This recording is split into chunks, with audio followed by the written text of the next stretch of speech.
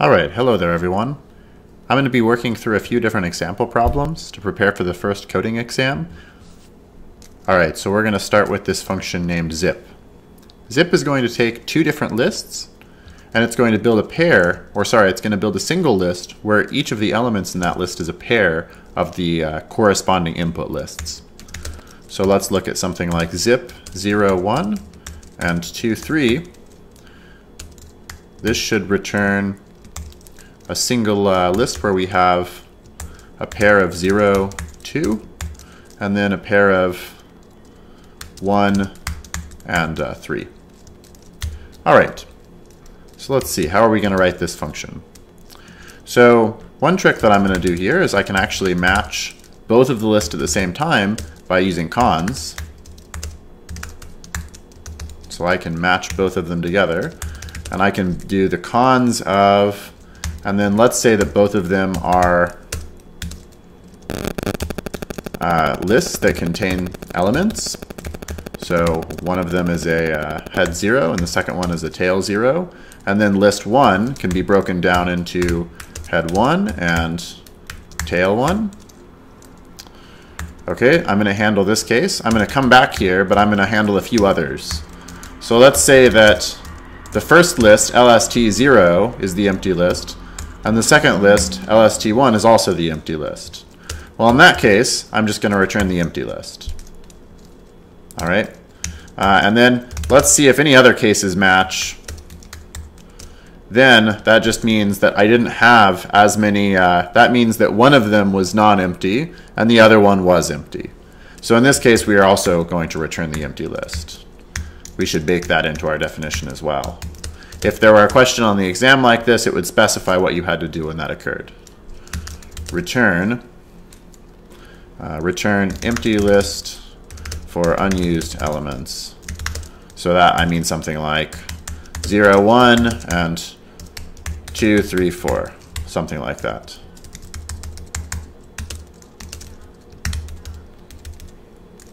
Okay, so now we just have to handle this, uh, sort of interesting case which says, what do we do here? Well, we're going to do cons of cons head 0 and head 1 with zip on tail 0 and tail 1. All right, now let's try and run that. Oops, we'll put to do here for now. Oh, I'm not in a quasi-quote there, so I just have to use the regular underscore. And now I can do zip of 0, 1, 2, 3. Okay, and it gave me what I expected, 0, 2, 1, 3. All right. If I try it with something like 0, 1, 2, 3, 0, uh, now let's do 4, 5, 6, except, uh, yeah, so this is going to be length 3, the previous one was length 4. So that should give us a back of length uh, list of back of length six. All right. And we're just dropping the unused elements. All right, so that's expected. All right, so now let's move on to the next one. Let's say we have something like this. So we'll do define zip test list. This is going to be the input to unzip. Just saving that there so I can We'll play around with it later without having to reconstruct it. Okay, so now what am I going to do? Well, I'm going to match. Uh, well, so I know I need to return a cons here. All right, so let's say match LST. If LST is the empty list, here I'm just going to return the empty list because ultimately, uh, sorry, no. I want to return a pair of empty lists because this function returns two lists because it returns a pair. So if I give you a, if I give you sort of a, the sublist of this, if I give you the empty list that corresponds when you sort of bottom out and run through all of these different previous cases, eventually you're going to end up here. You want this function to return cons of two different empty lists. All right, and the next one is the interesting case, which is when we have a, uh, a cons of a head and uh, actually no, it's going to be a car dot cdr That's how you can match on a con cell. And then the rest is going to be uh, some other tail. All right? So now, in that case, and see, we're matching here. We're saying match a list whose first element is a con cell. The con cell is the dot. So a dot builds con cells in this matching notation. So if you don't recognize that, you'll have to go back through and practice with pattern matching, and specifically pattern matching on con cells. If you can learn how to do that, that might really help in this exam. See, what we're doing here is we're matching a list whose first element is a con cell, since that's what this little match statement is doing right here. All right. So we've got that, uh, we've got that first, uh, that first con cell here, and we are unzipping it and building a pair of lists. Okay, so the first thing we have to do is we have to take tail, define unzipped tail is going to be unzip on uh, TL. All right, and what is that going to be? The type of this is actually, it's going to be a con This is a con cell whose uh, car contains the cars of tail and whose cdr contains the cdrs of tail. And so what are we going to do now? Well, we're going to do cons of cons car car unzipped TL and then cons cdr of cdr unzipped TL. All right, now this is a little bit of a tricky one, and I've kind of written it all, all at once. But I think you can kind of find out here what's happening. What we're doing is we're taking this, remember, this result is going to return a pair of both of those zipped values, and then we're going to match, uh, we could either, we could match against it, but in this case, I can just break it down manually by using car and cdr on unzipped TL. And then I build a con cell because I want to basically take the, the left-hand side of this, uh, the, the sort of car of this result. I want to splice the, our car that we've just matched onto that.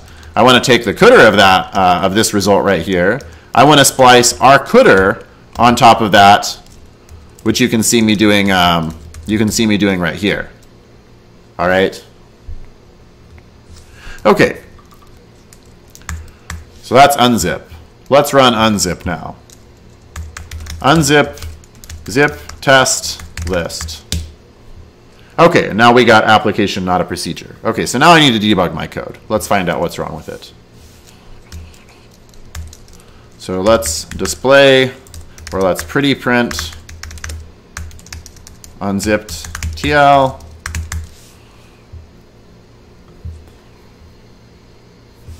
And then let's do unzip, zip, test list. Okay, and it's showing me that I have the empty list right here. Um, I call finally, okay, so finally I got out to this base case. My base case returned car unzipped TL. Looks like it returned the wrong thing. So car unzipped TL. So eventually this should return this empty, this, this case right here. I'm not sure why it's not. Let's find out. So let's think about this. Okay, so let's see what happened. Well, I'm still not sure what's going on. So let's do pretty print of LST. Then we'll do unzip of zip test list. Okay, perfect. Now we can kind of see what's happening. Okay, so the first time we got there, now we finally got to this point here where we've got LST is 0. So this is now going to return cons of this and this. And then we're saying application, not a procedure, expected a procedure. Oh, you know what I've done wrong? Shoot.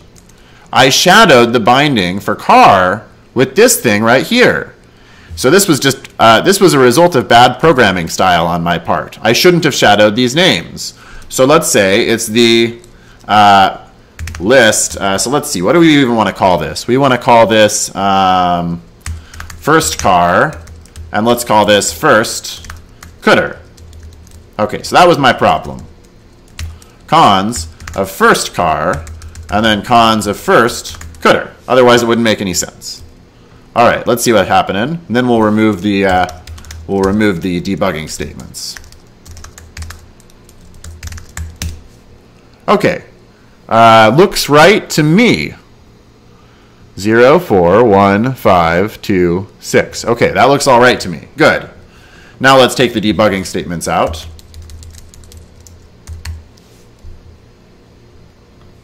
All right, um, this is a good example of how at first I didn't really understand what was going on. And then I added a little bit more debugging information to, to sort of help me find out. And then I kind of realized what, what I had gotten myself into. Okay, so now we're going to write this function map. Map that's going to map a function f over some list. Map is going to take every element of list. It's going to apply f to it, and then it's going to give us the result. So to make things a little bit, well, let's write the simple definition first.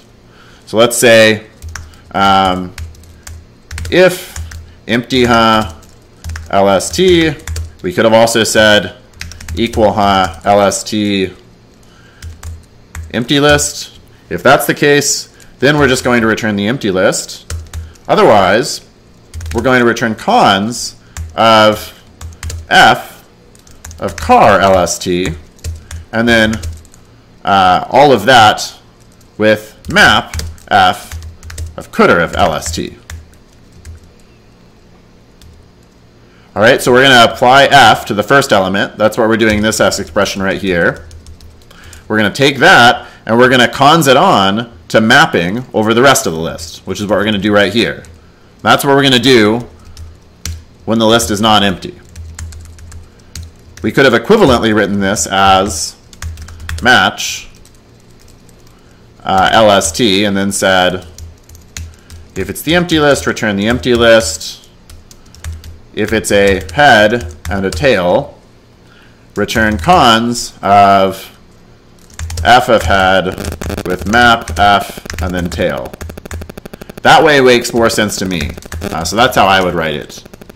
But you could also write it using ifs. All right, so now let's try writing a loop instead. So uh, this is how I would do it tail recursively.